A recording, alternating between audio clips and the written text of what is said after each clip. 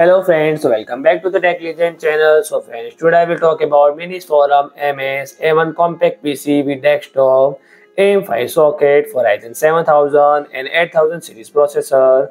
So friend, Minisforum's, small PC with AM5 socket, the MS A1. So friends, Minisforum, the expanding its range of compact desktop PC featuring high-end CPUs and the company launch the MS01 powered by Intel Core i9 3900H processor, a mobile variant of solder to the motherboard, and some interesting features such as a support for low profile and half-height desktop GPUs through an available PCI slot.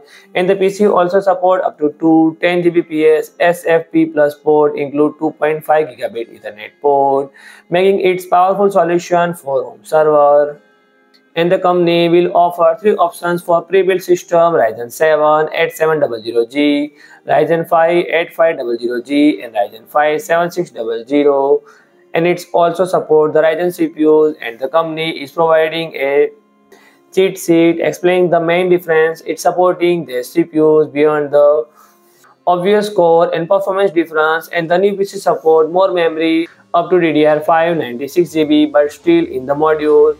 And the M2 storage has been expanded to 4 slot. Minute speed depend on the CPU used and however a new CPU system like SFP plus port eliminating the 10 Gbps networking option available in the previous model. So friend if you like my video please do like, share and comment and don't forget to subscribe my channel and press the bell icon.